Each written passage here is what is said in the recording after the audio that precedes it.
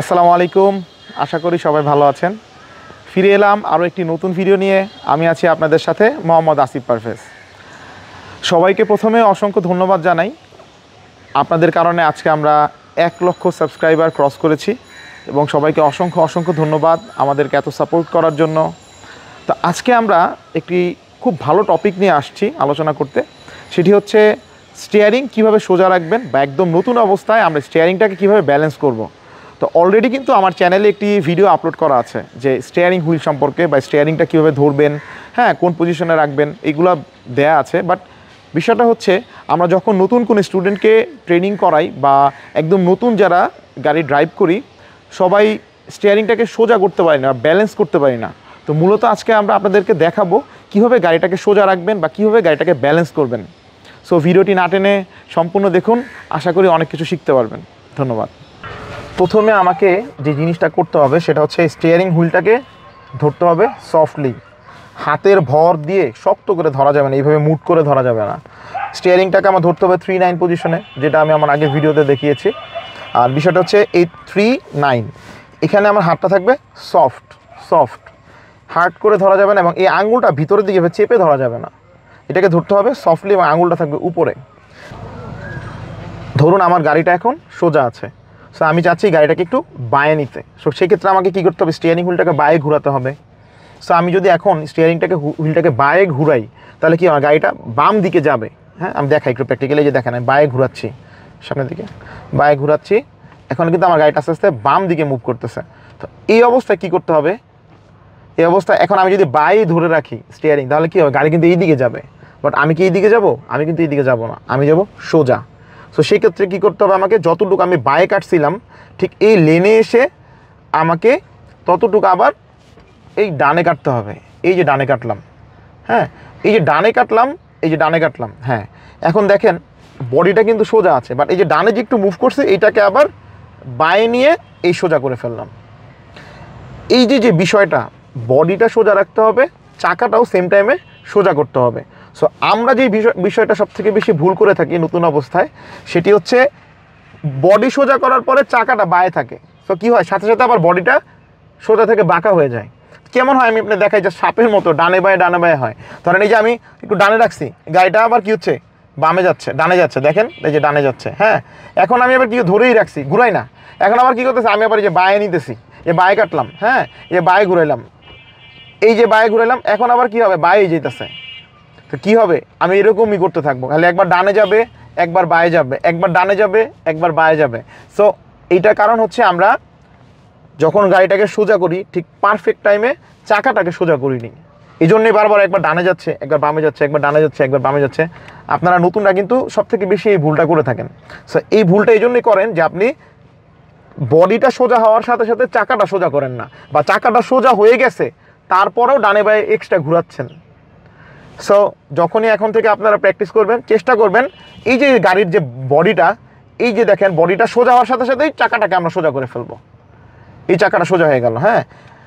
এতে কি হবে? গাড়িটা সোজা যাবে।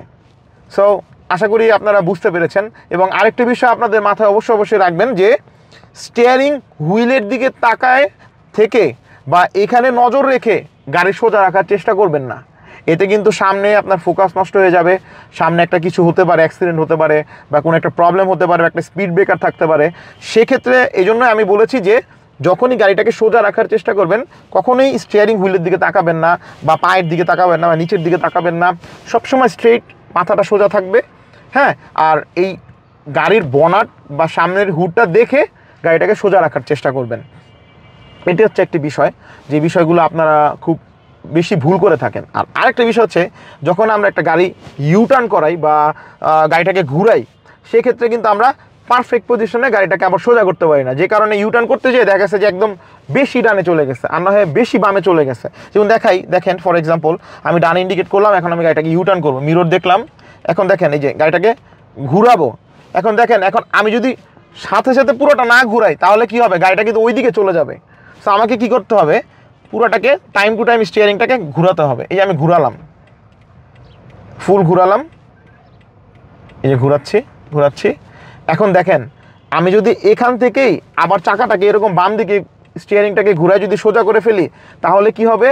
তাহলে আমি গাড়িটা কিন্তু এই দিকে যাওয়া শুরু করবে। ওই দিকে দেখাই। হ্যাঁ এই দিকে যাওয়া শুরু করবে। বাট আমি তো যাব হচ্ছে এই দিকে।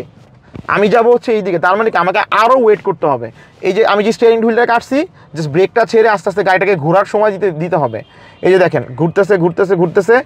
এই যে বডিটা সোজা হয়েছে এই যে দেখেন, সামনে বনারটা সোজা হয়েছে এখন আমি স্টিয়ারিংটাকে মানে ব্রেক ধরে গাড়িটাকে থামালাম থামানোর পর এখন আমি কি করব? এটা হচ্ছে, আমি কিন্তু বুঝাচ্ছি একদম নতুন যারা তাদের জন্য। এখন আমাকে চাকাটা সোজা করতে হবে, কারণ আমার বডি কিন্তু সোজা হয়েছে গাড়ির হুড বা বনাট যেটাই বলেন, সামনে কিন্তু সোজা আছে। এখন আমাকে কি করতে হবে? এই পজিশনে রেখেই চাকাটাকে পারফেক্টলি সোজা করতে হবে। তাহলেই গাড়িটা একদম সোজা যাবে। আর যদি আমি একটু ধরেন, এই যে দেখেন, এখন আমি সোজা করব। এই যে হাফ নিলাম ফুল নিলাম। এই হচ্ছে দেড় প্যাচ দিলাম, এখন কিন্তু আমার গাড়ি সোজা আছে। এই দেখেন, গাড়িটা সোজা যাচ্ছে। হ্যাঁ এই দেখেন পারফেক্টলি সোজা যাচ্ছে। বাট আমি যদি এখানে দেড় প্যাচের জায়গায় যদি আমি এখানে দুই প্যাচ দিতাম দেড় পেস না দিয়ে যদি আরও একটু বেশি কাটতাম, তাহলে কি হবে? গাড়িটা কি সোজা যাবে? না। গাড়িটা কিন্তু বাম দিকে যাবে। সো এই জিনিসটাই আমাদের সব থেকে বেশি ভুল হয়। ধরেন আপনি নিজের গাড়ি দিয়ে নিজে ড্রাইভিং শিখতেছেন। দেখবেন এই ভুলগুলোই কিন্তু আপনারা বেশি করে থাকেন। সো আজকে থেকে এইভাবে প্র্যাকটিস করবেন যে বডির সাথে সাথে আমাকে চাকাটাও সোজা করতে হবে। যদি চাকাটা বডিটা সোজা হওয়ার একটু আগে যদি বেশি কেটে ফেলি, তাহলে কিন্তু আর সোজা থাকবে না। বডিটা কিন্তু যেদিকে বেশি কাটছেন ওই দিকে যাওয়া শুরু করবে। সো অবশ্যই অবশ্যই আপনারা এই প্র্যাকটিসটা বেশি বেশি করবেন। একটা মাঠ বা কোনো ফাঁকা জায়গায় বারবার রাউন্ড দিয়ে রাউন্ড দিয়ে ঘুরে ঘুরে এই স্টিয়ারিং হুইলের এই ব্যাপারগুলো আয়ত্তে নেওয়ার চেষ্টা করবেন। দেখেন ভিডিও দেখে আপনি কিন্তু একদম এক্সপার্ট হতে পারবেন না। যে সেজন্য আপনাকে যেটা করতে হবে এক্সপার্ট বা এই প্রবলেমগুলো সলভ করতে আপনাকে প্র্যাকটিস করতে হবে, প্র্যাকটিসের কোনো বিকল্প নেই। আমরা হয়তো আপনাদেরকে বেসিকটা দেখাচ্ছি বা আপনাকে ট্রিক্স বা এই ব্যাপারগুলোকে ক্লিয়ার করতেছি। বাট এই যে যে প্র্যাকটিস, এটা কিন্তু আপনাকে মনোযোগ দিয়ে করতে হবে। আপনি যেখানেই ড্রাইভিং শিখেন না কেন, আমার প্রতিষ্ঠান হোক বা যেই প্রতিষ্ঠানেই হোক না কেন স্টিয়ারিং হুইলটাকে আগে বুঝতে হবে। প্রথমেই কিন্তু আপনাকে যে কোনো গাড়ি চালাতে গেলে স্টিয়ারিং হুইলটাকে বুঝতে হবে। কারণ কি? কারণ এই স্টিয়ারিং হুইলটা দিয়েই কিন্তু আমি আমার গাড়িটাকে ব্যালেন্স করব। সো এই যে যে আজকে আমি আপনাদের দেখালাম যে কীভাবে স্টিয়ারিংটাকে সোজা রাখবেন, দেখেন, এখন আমি সোজা যাব। সো সোজা রাখতে হলে যেতে হলে আমাকে কি করতে হবে?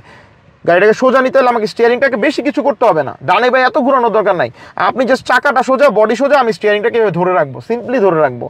গাড়ি কিন্তু সোজা যাবে। দেখেন, একটু ক্যামেরাটা ওইদিকে। হ্যাঁ? সো গাড়ি কিন্তু সোজা যাচ্ছে। এখন ধরেন আমি জাস্ট একটু ডানে নিব। সো ডানে নিলে কি হবে? ডানে নিলে আমাকে প্রথমে একটু ডানে কাটতে হবে স্টিয়ারিংটা এই যে ডানে কাটলাম, দেখেন আস্তে আস্তে একটু কিন্তু ডান দিকে সরতেছে গাড়িটা। এখন আমি যদি ডানে ধরে রাখি, তাহলে কিন্তু এদিকেই যাওয়া শুরু করবে। এখন আমাকে কি করতে হবে? আবার বায়ে নিতে হবে। এই যে বায়ে নিলাম, দেখেন। এই যে বায়ে নিলাম, আমি ওই পাশ থেকে সরে আমি একটু এই পাশে আসলাম। এখন আবার আমি স্টিয়ারিং হুইলটাকে সোজা করলাম। এইভাবে হচ্ছে আপনারা ডানে বায়ে মুভ করবেন হ্যাঁ? তো আশা করি আপনারা এই যে ব্যাপারগুলো আমি আপনাদের দেখালাম হ্যাঁ এই বিষয়গুলো যদি আপনারা ফলো করেন, তাহলে এই স্টিয়ারিং হুইল ডানে, বামে বা বেশি চলে যাচ্ছে গাড়ি, এই প্রবলেমগুলো আসলে অনেকটাই সলভ হয়ে যাবে। সো এই বিষয়গুলো আপনারা খুব বেশি বেশি প্র্যাকটিস করবেন। আশা করি আমার ভিডিওটি আপনাদের ভালো লেগেছে। যদি ভালো লেগে থাকে, তাহলে অবশ্যই অবশ্যই আমার চ্যানেলটি সাবস্ক্রাইব করবেন এবং পাশে থাকা বেল আইকনটিতে ক্লিক করবেন। সবাইকে অসংখ্য ধন্যবাদ। আসসালামু আলাইকুম।